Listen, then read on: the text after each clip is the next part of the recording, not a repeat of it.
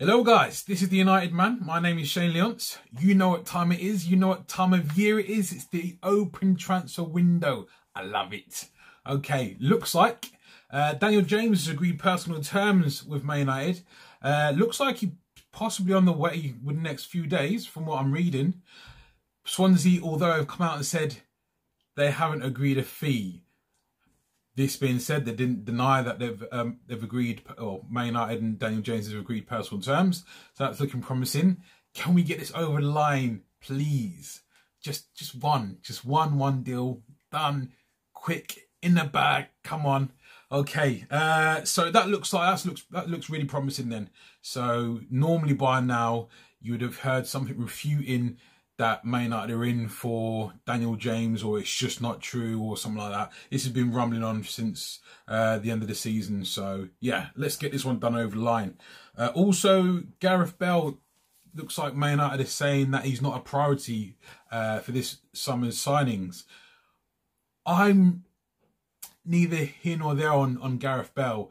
If we weren't to get him, I'll, you know, fine, brilliant, whatever. But if we were to get him, it'd be under strict guidelines of he'd have to be on the maximum a quarter of what is on at the moment, a maximum of two years, or even a play as you pay as you play, I should say. So yeah, if if he to come, I, I don't know. It's just his injury records, not great. He's yeah. Don't get me wrong. On his day, Gareth Bale well, we all know is well beater, as I mentioned before in my previous videos, the overhead kick he done in the Champions League final. My days. Okay, so if we can get that done and get it done with a very, very cautionary contract in play for him, then I'll be happy with that. But yeah, let's just watch this space on that one. As I say, the reports are saying that he's not a priority for Man United this summer. That doesn't mean it's not going to happen. Okay, so uh, moving on, got uh, Thomas Partey. Um, he's got a 50 million release clause in his contract, so that's you know uh, that's in euros. So I'm not too sure what that equates to in pounds, but that that's for a holding midfielder.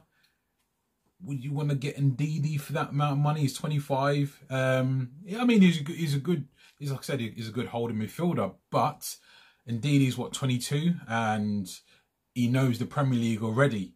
So that would be my preference if you're looking on spending that amount of money on a holding midfielder. Yeah, Ndidi would be my choice, but I wouldn't be adverse to, to Thomas Partey. As I said, uh, if we can get him for 40 million mark, then that, that'll be okay, I suppose. But uh, yeah, let's see. Um, also, this one is quite funny because the uh, the Sun's come out stating about Thomas uh, Meunier from PSG that they said that he's left, he's dropped another hint about going to Man United. I'll just read out what he's actually said. He said he's aware of uh, clubs that are linked to him, beautiful and exceptional clubs like, like United, Juventus, and Borussia Dortmund. The club and management know I would like to finish my contract at PSG or want to extend it. So, how does that transpire into dropping a big hint to Man United? Yeah, I love it. I love it. um, also, it looks like, well, from what's been reported, I don't know about this one. As much as I'd like it to be true, I don't know. João Felix, it looks like well, what's been reported that we're battling out with Atletico Madrid for his 105 million pound release clause. That's big money for a 19 year old.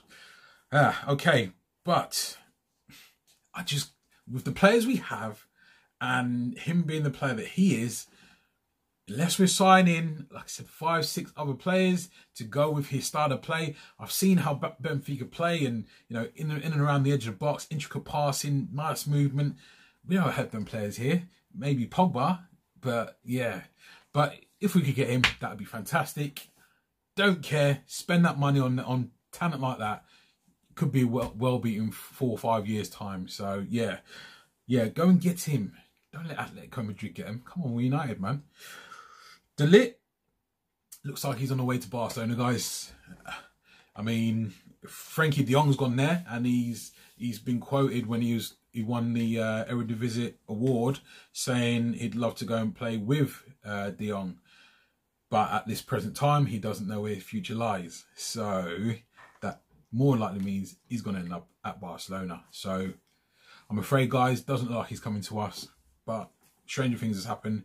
I mean, fax, fax machines break on the last day of the transfer window, so yeah, let's see. Um, also, Harry Maguire, it's looking like price has been banded about is about 70 million. So, problem with that is if we're getting Harry Maguire and we've already got Lindelof, unless we're signing Koulibaly as well, that's that's that's not. Mm, you don't have the speed at the back there. So for me, listen, if you get Koulibaly and Harry Maguire, great. But if it's Koulibaly or Maguire, Koulibaly all day. Because the price that they're banning about is 70 million, another 10 million or 15 mil, and that's Koulibaly as far as I'm concerned. So no contest between Maguire and Koulibaly. But if you're going to get Koulibaly and Maguire, that's a thumbs up for me. Uh, transfers out. Right, so you've got Tahith Chong out on loan. It's not a bad one. Don't think he's going to be breaking into the first team anytime soon from what I've seen. Watched him in the, in the youth squads, under 23s, first team games he's made appearances for. I can't see him breaking into the first team at his present current ability. Um, so yeah, going out on loan is probably best for him. Now, what's concerning me is this talk about Angel Gomes and blooming Barcelona and Bayern Munich, all them guys sniffing around him. Go away, do one. It's nah, nah. We're keeping Angel Gomes. He's that kind of intricate player that could play with uh, uh, João Felix, that could play with Paul Pogba. We don't want to lose our only technically, truly, naturally, technically gifted players. Do one, use lot. You stay in here. Anyway, guys, let me know what you think. If you hear anything else in the comments below, drop me a message. Uh, and obviously we get get to work on that. But otherwise, like, share, subscribe. Thanks for your time, guys. Take care.